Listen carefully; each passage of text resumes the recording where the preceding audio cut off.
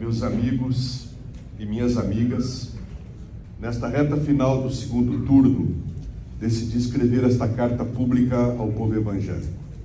A grande maioria dos brasileiros e brasileiras que viveram os oito anos em que fui presidente da República sabe que mantive o mais absoluto respeito pelas liberdades coletivas e individuais, particularmente pela liberdade religiosa. Como todos devem se lembrar, no período do meu governo, tivemos a honra de assinar leis e decretos que reforçaram a plena liberdade religiosa. Destaco a reforma do Código Civil, assegurando a liberdade religiosa no Brasil, o decreto que criou o dia dedicado à Marcha para Jesus e ainda o Dia Nacional dos Evangélicos. Mantenho o mesmo respeito e o mesmo compromisso que motivou a apoiar essas conquistas do povo evangélico. E o nosso povo sabe bem que cuidei com especial carinho dos mais pobres e injustiçados. E assim, sob as bênçãos de Deus, meu governo contribuiu para melhorar a vida de milhões de famílias brasileiras. Sempre penso nesse sentido no trecho bíblico que diz: a verdadeira religião é cuidar dos órfãos e das viúvas em suas dificuldades. Tivemos, entretanto, um período em que mentiras passaram a ser usadas intensamente com o objetivo de provocar medo nas pessoas de boa fé e afastá-las do apoio a uma candidatura que justamente mais as defende. Por isso, senti a necessidade de reafirmar meu compromisso com a liberdade de culto e de religião em nosso país.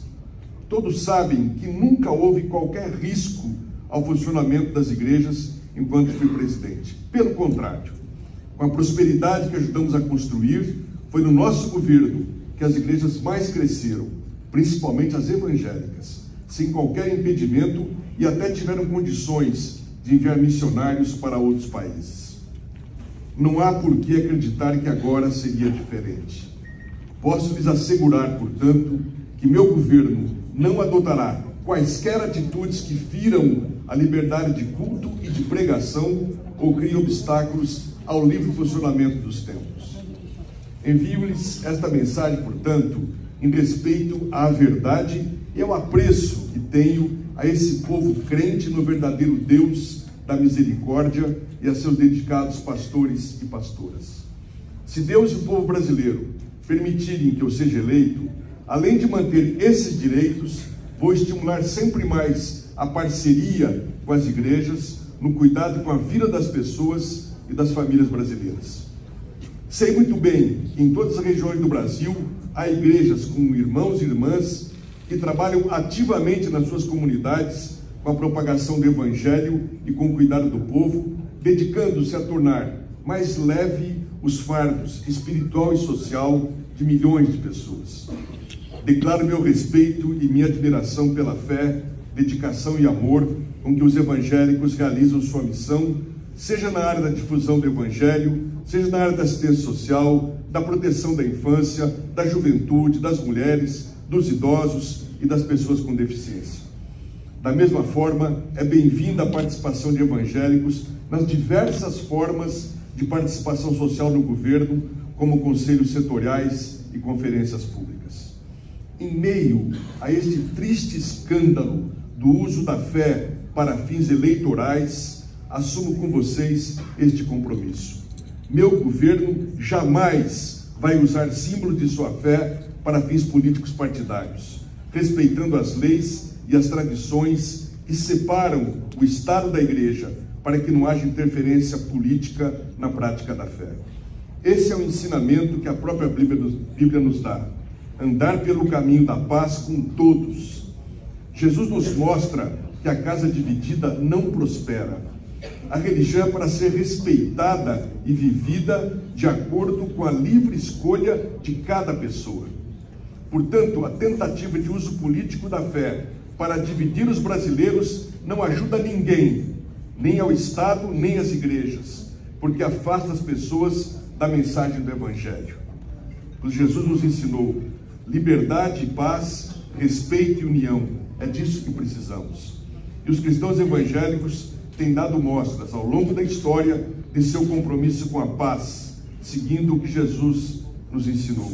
Dai a César o que é de César, dai a Deus o que é de Deus. Outro compromisso que assumo: fortalecer as famílias para que os nossos jovens sejam mantidos longe das drogas. Nós queremos nossa juventude na escola, na iniciação profissional, realizando atividades esportivas e culturais, para que tenham mais oportunidades e exerçam cidadania de forma produtiva, saudável e plena. O respeito à família sempre foi um valor central na minha vida. Isso se reflete no profundo amor que dedico à minha esposa, aos meus filhos e netos. Por isso compreendo o lugar central que a família ocupa na fé cristã. Também entendo que o lar e a orientação dos pais são fundamentais na educação de seus filhos, cabendo à escola apoiá-los, dialogando e respeitando os valores das famílias, sem a interferência do Estado. A preocupação com as famílias brasileiras deve ser integral. O povo brasileiro está numa condição de desespero e precisaremos muito da ajuda das igrejas para, o quanto antes, reverter esta situação. De nada adianta se dizer defensor da família e, ao mesmo tempo, destruí-las pela miséria, pelo desemprego, pelo corte das políticas sociais e da moradia popular. Queremos dar às famílias prosperidade e segurança. O lar é a garantia de proteção. É inaceitável que milhões de brasileiros e brasileiras não tenham um teto. Por isso, vamos retomar o vitorioso programa Minha Casa Minha Vida com toda a intensidade, para que todas as famílias brasileiras tenham uma casa onde possam viver com segurança e dignidade. Nosso governo implementará políticas públicas consistentes para que nenhuma família brasileira enfrente, enfrente o flagelo da fome. Sobretudo, não pouparei esforços para que possam adquirir os necessários e suficientes meios para viver dignamente por seu trabalho, sem ter que depender da ajuda do Estado. Nosso projeto de governo tem compromisso também com a vida plena em todas as suas fases. Para mim, a vida é sagrada, obra das mãos do Criador. E meu compromisso foi e será sempre com a sua proteção. Sou pessoalmente contra o aborto e lembro a todos e todas que este não é um tema a ser decidido pelo presidente da República, e sim pelo Congresso Nacional. Meus queridos e minhas queridas, peço que recebam essas palavras como uma demonstração do meu desejo sincero de servir, de ajudar e trabalhar pelo bem de nosso país. Estejam certos de minha estima e meu compromisso com todo o povo cristão do nosso país.